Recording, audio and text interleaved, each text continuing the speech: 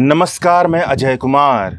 सट्टेबाजी को लेकर के भारत में पागलपन का वह स्तर दिख रहा है कि भारत सट्टेबाजों का देश लग रहा है। भारत सट्टेबाज प्रधान देश बनता जा रहा है। फ्यूचर एंड ऑप्शन ट्रेड की दुनिया में, ऑप्शन डेरिवेटिव में जो एक तरह से कह लीजिए तो सट्टेबाजी ही होती है, इस क्षेत्र में पूरी दुनिया भर में सबसे ज़्यादा धंधा भारत में किया जा रहा है। ऐसा क्यों हो रहा है? इसके कई सारे जवाब हो सकते हैं, मगर एक जवाब जो सबको साफ़ साफ़ दिख सकता है, वह यह है कि भारत में सबसे ज़्यादा अमीरी का सपना बेचा जाता है। यह सपना लोगों के बीच इसलिए भी बिक पाता है क्योंकि भारत में गरीबी बहुत ज़्यादा है। भारत की 90 प्रतिशत आबादी हर दिन, हर क्षण पैसे की चिंता में मरी जाती है। सोचती है कि जितना वह कमाती है, उससे ज़्यादा कहीं से भी कुछ पैसे का इंतज़ाम हो जाता तो उसकी ज़िंदगी थोड़ी आसान हो जाती। इसके साथ मुख्य धारा की सारी बहसों से निकलने वाली प्रेरणा यही है कि अगर आप अमीर नहीं हैं तो आपकी ज़िंदगी का कोई अर्थ नहीं है। अगर आपके पास आलिशान बंगला नहीं है, महँगी गाड़ी नहीं है और महँगे आपके शौक नहीं हैं तो मामला बहुत गड़बड़ है। मुख्य धारा की बहसों में उन लोगों और विचारों की बहुत ही ज़्यादा कमी है, जो सबके लिए गरिमापूर्ण जीवन जीने की बात करते हैं, जो नैतिकता और अनैतिकता की वकालत करते हैं, जो एक ऐसी जीवन शैली की वकालत करते हैं, जो दूसरे के हक मारने पर नाटकी हुई हो। धारा की बहसों में इन सबको बाहर निकाल दिया गया है।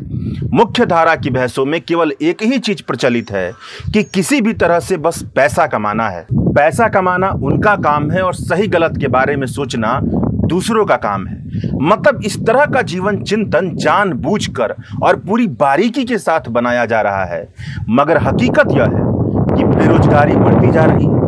नौकरी है भी तो नौकरी में शोषण बहुत ज़्यादा है। मेहनताने के नाम पर महीने में जो सैलरी मिलती है, वह जीवन की ज़रूरतों और चाहतों के मुकाबले रत्ती बराबर भी नहीं होती है। ऐसे में जिनकी जेब में थोड़ा सा पैसा आता है और जिनके दिमाग पर मुख्य धारा की बहस हावी हो चुकी होती है, उन्हें एक ही चीज़ समझ में आती है कि अच्छा खासा पैसे के जुगाड़ किसी तरह से करना है। चाहतों की इसी रास्ते पर इस तरह के लोगों की मुलाकात फ्यूचर एंड ऑप्शन ट्रेडिंग से होती है। लोगों के हाथ में एक मोबाइल है, बैंक में थोड़ा सा पैसा है, मोबाइल में डेटा है और एक ऐप डाउनलोड करना है और उसके बाद पैसे कमाने की राह पर आगे निकल पड़ना है। अगर आप महीने में तीस हज़ार रुपये कमा लेते हैं तो आप में से कई लोग ऐसे लोगों को जानते होंगे जो दिन भर अपने मोबाइल की स्क्रीन पर फ्यूचर एंड ऑप्शन ट्रेडिंग की दुनिया में खुद को डुबो कर रखते हैं। उन सबकी चाहतों के केंद्र में यही है कि आसानी से बहुत ज़्यादा पैसा कमा लेना है। बीटेक किया हुआ इंजीनियर अपनी घटिया सी नौकरी छोड़ करके फ्यूचर एंड ऑप्शन की ट्रेडिंग में लगा हुआ है, स्टॉक मार्केट में लगा हुआ है, सरकारी दफ्तर में काम करने वाला कर्मचारी, सरकार और जनता का काम छोड़ करके फ्यूचर एंड ऑप्शन की ट्रेडिंग में लगा हुआ है। लाइफ इंश्योरेंस का काम करने वाला एजेंट इस चाहत में डूबा हुआ है कि कैसे वह फ्यूचर एंड ऑप्शन ट्रेडिंग का बादशाह बन जाए। सोशल मीडिया पर इन सबको इन्फ्लुएंस करने के लिए फिन इन्फ्लुएंसर की फौज मौजूद है, जो यह बताती है कि कैसे ट्रेडिंग करके कैसे करोड़ों कमाया जाए स्टॉक मार्केट से कैसे लखपति और करोड़पति बना जाए। सेबी की रिपोर्ट बताती है कि फ्यूचर एंड ऑप्शन ट्रेड में ट्रेड करने वालों के बीच में पचहत्तर प्रतिशत लगातार नुकसान सहते रहते हैं, मगर उसके बावजूद भी ट्रेडिंग करते रहते हैं। जब पैसा डूबता है, उसके बाद भी ट्रेडिंग जारी रहती है। मतलब यहाँ वही भावना काम कर रही है, जिसके तहत लोगों को यह सिखाया जा रहा है कि अपना टाइम कभी तो आएगा, लगे रहना है, छोड़ना नहीं है। इसी पर सेबी ने एक रिपोर्ट जारी की है। फ्यूचर और ऑप्शन ट्रेडिंग पर सेबी ने एक रिपोर्ट जारी की है। रिपोर्ट का नाम है analysis of profit and loss in the equity derivative segment financial year 2022 से लेकर के फाइनेंशियल ईयर 2024 यानी तीन साल की रिपोर्ट यह रिपोर्ट बताती है कि फाइनेंशियल ईयर 2024 में future and option trading segment में जितने इंडिविजुअल ट्रेडर थे, उनमें से तकरीबन इक्यानवे प्रतिशत को लॉस सहना पड़ा है। उनका पैसा डूब गया है, उनको नुकसान उठाना पड़ा है। मतलब हर दस में से नौ ने नुकसान उठाया है। थोड़ा और खुलकर कहा जाए तो तिहत्तर लाख लोगों ने फाइनेंशियल ईयर 2023 में अपना पैसा डुबोया है और एवरेज लॉस एक लाख बीस हज़ार रुपए का रहा है। बताइए, यह उस क्षेत्र का हाल है जिस क्षेत्र के ज़रिए पैसा कमाने का ख्वाब पूरे भारत में बेचा जा रहा है? सेबी की इसी रिपोर्ट के आंकड़े बताते हैं कि फ्यूचर एंड ऑप्शन ट्रेड की दुनिया में ट्रेड करने वालों के बीच में पचहत्तर प्रतिशत ट्रेडर की एनुअल इनकम पाँच लाख रुपए या इससे कम है। यानी इससे ज़्यादा नुकसान स्मॉल इन्वेस्टर को हो रहा है। सबसे ज़्यादा जिनके पास कमाई कम है, बचत कम है, उनका पैसा डूब रहा है। मामले को थोड़ा ढंग से समझने के लिए फ्यूचर एंड ऑप्शन ट्रेडिंग को समझ लेते हैं। सारी तकनीकी बातों को हटा करके मोटे तौर पर कहा जाए तो बात यह है कि जून 2020 में नेशनल स्टॉक एक्सचेंज ने डेरिवेटिव में ट्रेड करने का कॉन्सेप्ट लॉन्च किया। जैसा कि डेरिवेटिव शब्द से ही पता चलता है कि डेरिवेटिव का मतलब वह है जिसे किसी से डिराइव किया गया हो। हिंदी में इसे व्युत्पन्न कहा जाता है। जैसे लकड़ी, अगर एक एसेट है तो इसका डेरिवेटिव कुर्सी हो सकता है बेंच हो सकता है, दरवाज़ा हो सकता है। फाइनेंस की दुनिया में कहा जाए तो डेरिवेटिव दो या दो से ज़्यादा लोगों के बीच किया गया एक ऐसा फाइनेंशियल कॉन्ट्रैक्ट होता है, जिसकी वैल्यू किसी अंडरलाइन फाइनेंशियल स्टेट पर डिपेंड करती है। उदाहरण के साथ समझा जाए तो बात यह है कि मान लीजिए कि एक कंपनी है जिसका नाम है रमुआ बुक्स लिमिटेड। इस कंपनी का एक शेयर सौ रुपए का है। इसके डेरिवेटिव इंस्ट्रूमेंट में दो तरह से ट्रेड हो सकता है। या तो स्टॉक ऑप्शन के सहारे या फ्यूचर स्टॉक के सहारे। स्टॉक ऑप्शन के सहारे ट्रेडिंग करने वाले कुछ कीमत देकर या एक तरह से कह लीजिए तो कुछ प्रीमियम देकर के एक नियत अवधि के बाद किसी शेयर को पहले से ही निर्धारित कीमत पर खरीदने और नहीं खरीदने के विकल्प, यानी ऑप्शन का कॉन्टेक्ट करते हैं। इसका मतलब यह बनता है कि अगर रमुआ बुक्स लिमिटेड की शेयर की वर्तमान में कीमत सौ रुपए है और यह अनुमान लगाया जाता है कि अगले एक महीने में इसकी कीमत दो सौ रुपए या दो सौ रुपए से ज़्यादा हो जाएगी तो ऑप्शन ट्रेडिंग करने वाला व्यक्ति, उनसे जिनके पास रमुआ बुक्स लिमिटेड के शेयर हैं, उनसे यह कॉन्ट्रैक्ट कर सकता है कि एक महीने के बाद वह उनके शेयर को एक सौ में खरीद लेगा या ज़्यादा रकम भी हो सकता है। इसके बदले में वह प्रीमियम के तौर पर करार करते समय ही बीस रुपये दे रहा है। ऐसे में जिसके पास रमुआ बुक्स लिमिटेड का शेयर होगा, उसे बिना कुछ किए मुफ़्त में ही बीस रुपये मिल जाएँगे। भविष्य में एक महीने के बाद अगर शेयर की कीमत बढ़ती है, तब तो ऑप्शन ट्रेड करने वाला शेयर खरीद लेगा। अगर शेयर की कीमत नहीं बढ़ती है तो नहीं खरीदेगा। और जिसके साथ उसने कॉन्ट्रैक्ट किया है, उसके पास बीस रुपये पहले से ही मौजूद है, उसे इस हालत में भी मुनाफा होगा। अगर एक महीने के बाद रमुआ बुक्स लिमिटेड के एक शेयर की कीमत बढ़कर के दो सौ हो जाती है तो ऑप्शन ट्रेड करने वाले को अस्सी रुपये का मार्जिन मिलेगा। चूँकि उसका बीस रुपये का ऑप्शन के करार पर खर्चा किया जा चुका है, इसीलिए भविष्य भविष्य में ऑप्शन ट्रेड करने वाले को अगर कीमत बढ़ती है तो साठ रुपए का मुनाफा होगा। इसी तरह से भविष्य में शेयर की कीमत कम होने का अनुमान लगाकर भी ऑप्शन ट्रेडिंग की जाती। अब इसका उल्टा भी हो सकता है। इसी तरह से भविष्य में शेयर की कीमत कम होने का अनुमान लगाकर भी ऑप्शन ट्रेडिंग की जा सकती है। फ्यूचर स्टॉक में किसी तरह का ऑप्शन का कॉन्ट्रैक्ट नहीं किया जाता है, बल्कि एक निर्धारित कीमत पर पूरा का पूरा स्टॉक पहले ही खरीद लिया जाता है। और जब पूरा का पूरा स्टॉक खरीदा जाएगा तो बहुत ही ज़्यादा भुगतान करना पड़ेगा और भविष्य में अगर कीमत नहीं बढ़ेगी, नहीं घटेगी तो पूरा पैसा डूब जाएगा। इसीलिए फ्यूचर स्टॉक में धंधा बहुत कम होता है, ज़्यादा धंधा ऑप्शन स्टॉक में होता है। अब जैसा कि उदाहरण से स्पष्ट है कि पैसा कमाने का सारा तामझाम इस बुनियाद पर टिका है। कि जब इन्वेस्टमेंट करने वाले इस बात को पकड़ पाएँ कि कब शेयर की कीमत बढ़ेगी और कब शेयर की कीमत घटेगी। मगर अगर कृत्रिम तरीके से आर्टिफिशियल तरीके से जुगाड़ बिठा करके किसी कंपनी की शेयर की कीमतों को बढ़ा दिया जाए और घटा दिया जाए तो ज़्यादातर इन्वेस्ट करने वालों को नुकसान सहना पड़ेगा। जिसने जुगाड़ लगा करके शेयर की कीमतों को बढ़ाया और घटाया है केवल उसी को फ़ायदा पहुंचेगा, क्योंकि उसी के पास केवल सूचना होगी।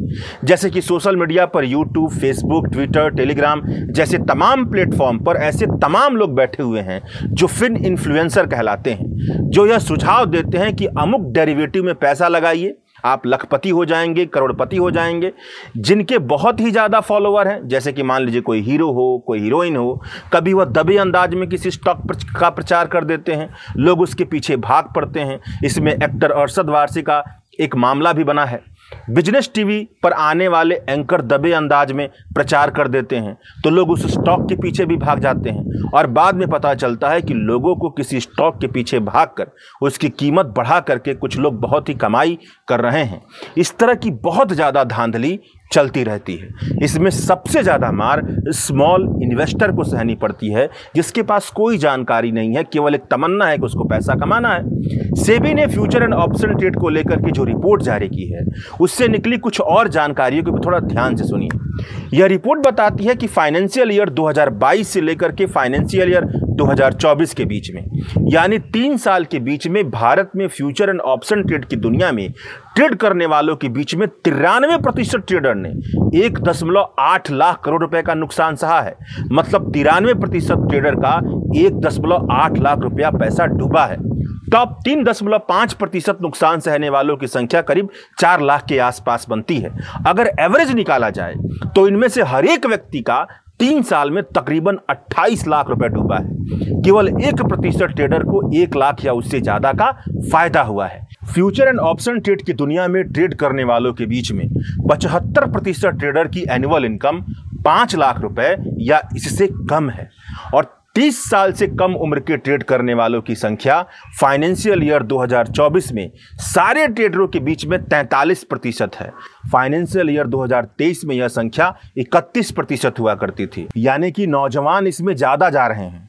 तीन साल में पचहत्तर प्रतिशत ट्रेडर का पैसा लगातार डूबा है और उसके बावजूद भी पैसा डुबाने वाले लोग ट्रेड करते रहते हैं। भारत के टॉप 30 शहरों से बहत्तर प्रतिशत इंडिविजुअल ट्रेडर आते हैं जो फ्यूचर एंड ऑप्शन ट्रेड में ट्रेडिंग कर रहे हैं। राहुल गांधी ने जब यह रिपोर्ट जारी हुआ तो एक्स पर लिखा कि पाँच वर्षों में अनियंत्रित uncontrol future and option trading 45 गुना बढ़ गई है। 90 प्रतिशत स्मॉल निवेशकों को तीन साल में एक दशमलव आठ लाख करोड़ रुपए का नुकसान हुआ है। उनका पैसा डूब गया है। सेबी को उन बिग प्लेयर का नाम का खुलासा करना चाहिए, जो छोटे निवेशकों के खर्च पर अपना बहुत बड़ा प्रॉफिट बना रहे हैं। आप कहेंगे कि जब पचहत्तर प्रतिशत ट्रेडर लगातार नुकसान उठा रहे हैं, लगातार उनका पैसा डूब रहा है उसके बावजूद भी वह ट्रेडिंग क्यों कर रहे हैं? ट्रेडिंग से बाहर क्यों नहीं निकल जाते? इस प्रश्न का उत्तर देना कठिन है। मगर जो बात समझ में आती है कि भारत में शिक्षा की कमी है, उसमें भी फाइनेंशियल लिटरेसी की बहुत ही ज़्यादा कमी है। आम लोगों को अर्थव्यवस्था की बहुत कम जानकारी होती है। इसके ऊपर ट्रेडिंग को लेकर के एक ऐसा माहौल बनाया गया है, जिसमें आम आदमी को लगता है कि बहुत सारे लोग ट्रेडिंग करके बहुत ही अच्छा खासा पैसा बना रहे हैं। एक ही ऑफ़िस में कई लोग ऑप्शन ट्रेडिंग कर रहे हैं। उनमें से ज़्यादातर को लॉस हो रहा है, मगर उन सबने ऐसा माहौल बनाया है कि अगर आप ट्रेडिंग प्लेटफॉर्म पर नहीं हैं तो आप बहुत पीछे हैं। आप पैसा नहीं बना पा रहे हैं, हम लोग पैसा बना रहे हैं। अदृश्य तौर पर एक तरह का सामाजिक दबाव भी काम कर रहा है, एक तरह का फाल्सिफिकेशन काम कर रहा है। एक उदाहरण जो मैंने देखा वह यह है कि एक ही दफ्तर में दो कर्मचारी काम कर रहे हैं। एक कर्मचारी थोड़ा काबिल है, थोड़ा समझदार है, एक कर्मचारी थोड़ा अकुशल क्षेत्र का जुड़ा हुआ कर्मचारी है। अब जब ऐसी स्थिति बनी है तो सेबी को तो चाहिए कि वह सबके सामने रख दे जो यह रिपोर्ट आई है। हर ट्रेडिंग करने वाला व्यक्ति के सबसे ऊपर जब वो ट्रेड करने जाए तो ऊपर दिखाई दे, जिसमें यह पता चले कि फ्यूचर एंड ऑप्शन ट्रेड में इक्यानवे प्रतिशत लोग को लॉस हो रहा है। तीन सालों में तिरानवे प्रतिशत लोगों का पैसा डूबा है। कुछ कमाई नहीं हो रही है। यह तो डिस्क्लेमर के तौर पर ऊपर ही लगा देना चाहिए, ताकि जो पहले जाए वहाँ पर, वो पहले ही इस चीज़ को देख लें और अपना निर्णय लेने में थोड़ी सतर्कता बरतें। और अगर ये जो पूरा क्षेत्र मार्केट दिखाई दे रहा है, इसमें तो बहुत ही ज़्यादा रेगुलेशन करने की भी ज़रूरत है। अंत में चलते चलते इस बात को समझिए कि भारत की पूरी अर्थव्यवस्था में ऐसी स्थिति तो बिल्कुल नहीं है कि सारे के सारे लोग अच्छी खासी कमाई कर पाएँ, क्योंकि भारत की जो पूरी अर्थव्यवस्था है, वो एक कुचक्र में फंसा दी गई है। यहाँ पर कमाई कई लोगों का हक मारने के बाद कुछ ही लोग कर पा रहे हैं। इसीलिए आर्थिक असमानता बढ़ी हुई है। वर्ल्ड इनक्वालिटी की रिपोर्ट बताती है। वर्ल्ड इनक्वालिटी लैब की जो रिपोर्ट है, वह बताती है कि एक प्रतिशत अमीरों के पास देश की चालीस प्रतिशत संपदा है। चालीस प्रतिशत उनके पास वेल्थ है।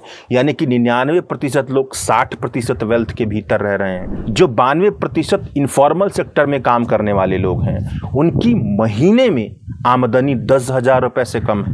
भारत की प्रति व्यक्ति आमदनी बारह से तेरह हज़ार रुपये के बीच में जुड़ रही है। यानी कि भारत के लोगों की जेब में बहुत ही कम पैसा है। जब पैसा लोगों की जेब में नहीं होगा तो कैसे अर्थव्यवस्था में डिमांड बढ़ेगी? और जब डिमांड नहीं बढ़ेगी, तब कैसे अर्थव्यवस्था चल सकता है? डिमांड का मतलब ये है कि मान लीजिए कि एक कार बनाने वाली कंपनी, या मान लीजिए कि एक स्कूटर बनाने वाली कंपनी है, मोटरसाइकिल बनाने वाली कंपनी है, एक रेस्टोरेंट है, होटल है, या तमाम चीज़ें हैं। उसका उपभोग उसके सामान का उपभोग तो तभी हो पाएगा। इन सारे सामानों का और सेवाओं का उपभोग तो तभी हो पाएगा जब लोगों की जेब में पैसा हो। और स्थिति ऐसी है कि भारत की बहुत बड़ी आबादी तकरीबन 90 प्रतिशत आबादी की जेब में पैसा ही नहीं है। उसकी सारी की सा, उसका सारा का सारा पैसा बुनियादी ज़रूरतों पर ही खर्च हो जाता है।